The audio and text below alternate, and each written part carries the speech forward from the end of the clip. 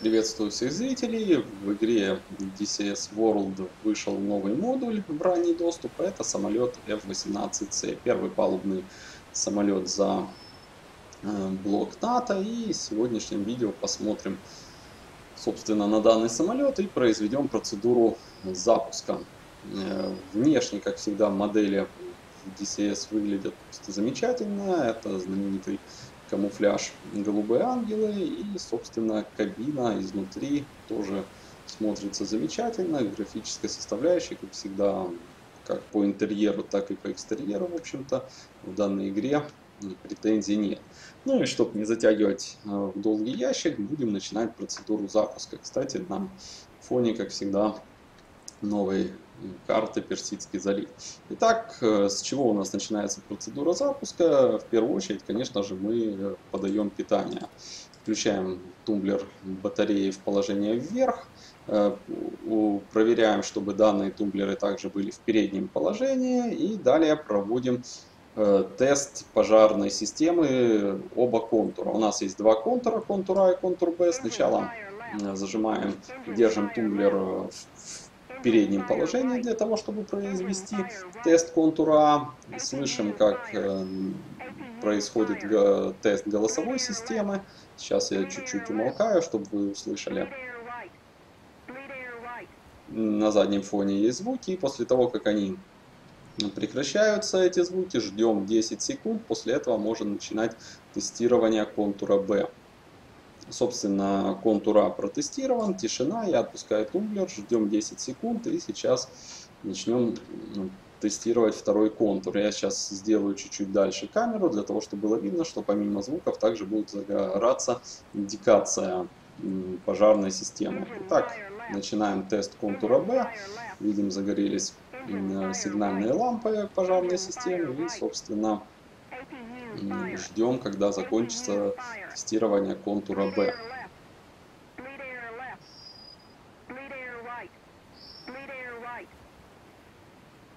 Все, тест закончился. Э, и, в общем-то, можем теперь начинать запускать вспомогательную силовую установку. Запускается она этим тумблером, переводим в положение ON и, собственно, ждем загорания зеленого индикатора, который будет свидетельствовать о том, что вспомогательная силовая установка у нас запущена. Пока она запускается, вот здесь находится э, переключатель открывания и закрывания кабины. Собственно, давайте закроем кабину, чтобы э, звуки нам мешали в дальнейшем запуске.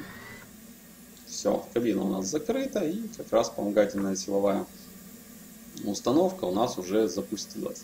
Начинается запуск самолета с правого двигателя, потому что к нему подключена гидросистема тормозов, хотя можно запускать и первый левый двигатель, но обычно считается стандартным запуском начала с правого двигателя. Вот здесь у нас панель параметров двигателя, обороты, температура, потребление топлива, давление масла и угол створок двигателя. Итак, э, будем следить за параметрами двигателя при запуске по этому табло. Перевожу вот данный вот переключатель в положение R, то бишь правый двигатель, и начинаем следить за оборотами двигателя. Как только они достигнут 20%, нам необходимо root перевести из положения idle в положение э, малого газа. Это осуществляется кнопкой правый Shift плюс Home для правого двигателя. Соответственно, рычаг перевели и ждем, когда обороты перевалят за 60%, значит это уже двигатель запустился и где-то они должны стабилизироваться в районе 65%. Собственно, обороты растут и двигатель уже вышел в положение малого газа. Э, когда мы проводили тест пожарной системы, пожарная система при тестировании перекрыла подачу воздуха в кабину, и поэтому нам надо снова ее открыть. Для этого мы берем вот, этот, э, вот эту крутилку Glad Air и проворачиваем по часовой стрелке на 360 градусов. Так, раз, раз, раз, раз. Все. Провернули по часовой на 360 градусов и снова открыли подачу кислорода в кабину. Собственно, дальше включаем наши многофункциональные дисплеи, левый, правый и центральный. Э, центральный включается крутилочка и также включаем наш МФД. Вот она крутилка МФД, ой, МФД Илса. И, собственно, включаем наш индикатор на лобовом стекле. На левом дисплее выбираем страницу FCS, это система нашего самолета, и, собственно, вот у нас отображение. Здесь цифрами показывает положение наших органов управления. Дальше мы видим, у нас горит индикатор э, предупреждения. Первый раз, когда мы его нажимаем, происходит, система понимает, что мы увидели, что у нас есть какие-то ошибки. И если мы нажмем второй раз, то внизу на этом дисплее появится расширенное предупреждение об ошибках. Высветятся те ошибки, которые, собственно, у нас есть. Дальше необходимо поставить крутилку навигационной системы в положение выставления навигационной системы на Земле, то есть положение ground. Ставим и пока наша навигационная система будет, соответственно, производить выставление. Теперь можем э, запустить и левый двигатель. Для этого, собственно, мы переводим э, данный переключатель в положение left и следим за ростом оборота левого двигателя. Как только достигает 20%, зажимаем лев... правый Alt плюс Home и, соответственно, э, левый root у нас также переходит из положения idle в положение малого газа. После того, как э, оба двигателя будут запущены, вспомогательная силовая установка в течение минуты сама автоматически отключится, что надо проконтролировать тем, что должна погаснуть данная зеленая лампа. Э, пока у нас самолет не был запущен, не было давления гидросистемы, видим крестиками, это означает, что какие-то ошибки по положению наших управляющих плоскостей, соответственно, необходимо сбросить эти ошибки. Для этого у нас есть кнопка FCS Reset, мы нажимаем и, собственно, происходит сброс данных ошибок. Далее включаем подачу кислорода, переводим радар в положение Operate для подготовки его к работе в воздухе. Вводим положение Operate и, собственно, переводим закрылки в положение авто. Есть закрылки авто. Дальше необходимо провести, собственно, тест всей системы FCS. Сейчас переходим, э, нажимаем вот эту кнопочку для перехода на страницу FCS и, собственно, видим, что у нас не все четыре пункта находится в положении Go, поэтому нам надо запустить тест. Сейчас, э, когда я буду запускать тест, на вот этом MFD будут меняться циферки и, собственно, наши все плоскости будут двигаться, э, происходить тестирование. Есть у нас вот такой вот тумблер FCS Bit Switch, мы его переводим в верхнее положение и зажимаем в таком положении и нажимаем кнопочку FCS. Соответственно, должно было начать тестирование. Видимо, я его слишком рано отпустил. Сейчас попробуем еще раз. Так. И, собственно, FCS. Ага, вот все пошло. In-тест. Видим, меняются циферки, и, собственно, мы можем посмотреть, что двигаются наши управляющие плоскости, соответственно, проходит тестирование. Только оно закончится, все четыре, собственно, надписи должны быть Go. Все, есть Go, система FCS прошла тестирование. Дальше настраиваем громкость радио.